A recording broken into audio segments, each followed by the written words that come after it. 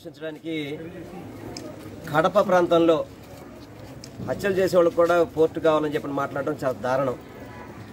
ఒక భారతీయ జనతా పార్టీ రాష్ట్ర అధ్యక్షుడిగా ఉంటూ మొన్నేమో లిక్కర్ గురించి చీప్ లిక్కర్ యాభై రూపాయల రూపాయలకి ఇవ్వడం అని చెప్పిన కారణాన్ని కానివ్వండి కడపలో అందరూ కూడా హత్యలు చేసే ఉంటారని చెప్పని వాళ్ళకి పోర్టు ఎందుకు మన ఎయిర్పోర్ట్ ఎందుకు ఇవ్వాలని చెప్పడం కానివ్వండి దిగజారుడు రాజకీయ దిగజారుడికి నిదర్శనం అన్నీ కూడా.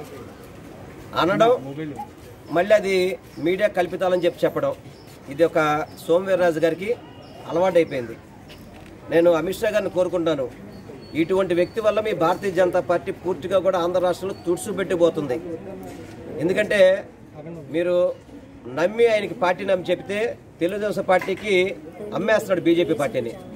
సోమవీర్రాజు సోమవీర్రాజు ఆంధ్ర రాష్ట్రాలకి అర్హత లేని వ్యక్తి. ఎందుకంటే ఒక రాష్ట్ర అధ్యక్షుడిగా ఉండి ఒక ప్రాంతాన్ని ఒక రాయలసీమను కించపరిచే విధంగా రాయలసీమ అంటే హత్యలు చేసేవాడని చెప్పి చెప్పడం అనేది చాలా దుర్మార్గం దౌర్భాగ్యం. ఇటువంటి వ్యక్తి భారతీయ జనతా పార్టీకి రాష్ట్ర అధ్యక్షుడిగా ఉన్నాడని చెప్తే ఈరోజు భారతీయ జనతా పార్టీ సిగ్గుపడాల్సిన పరిస్థితి.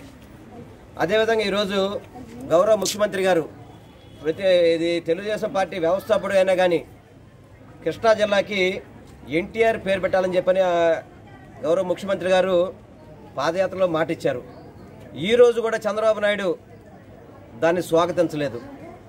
ఆయన ముఖ్యమంత్రిగా ఉన్నప్పుడు కానీ పద్నాలుగేళ్ళు ముఖ్యమంత్రి చేశాడు. ఏ రోజు కూడా ఎన్టీఆర్కి మంచి గుర్తింపు తేవాలని ఏ రోజు ప్రయత్నం చేయాల.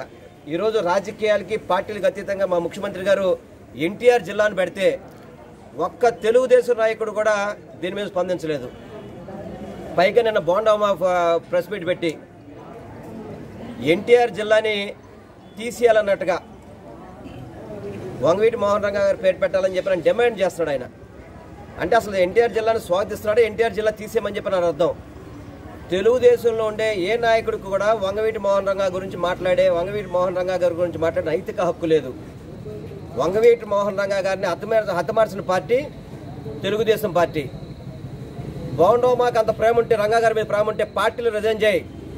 తెలుగుదేశం పార్టీ నుంచి బయటకు వచ్చి మాట్లాడు నువ్వు. తెలుగుదేశం ప్లాట్ఫామ్ మీద కనుక మీరు వంగవీటి మోహన్ రంగా గురు రంగా గారి నుంచి మాట్లాడే నైతిక హక్కు తెలుగుదేశం నాయకుడికి లేదు. ఇప్పటికైనా కానీ చంద్రబాబు నాయుడు స్టాండ్ చెప్పాలి. ఎన్టీఆర్ జిల్లాకి ఆయన మద్దతు పలుకుతున్నాడా? వ్యతిరేకిస్తున్నాడా అని చెప్పనేది చంద్రబాబు నాయుడు నోరు తెరవాలా. బాలకృష్ణ కూడా మొన్న హిందూపురంలో హిందూపురం గురించి మాట్లాడాడు తప్ప హిందూపురాన్ని కేంద్రంగా చేయాలని తప్ప ఎన్టీ రామారావు గారికి జిల్లా పెడితే హర్షించలేని వ్యక్తి బాలకృష్ణ అంటే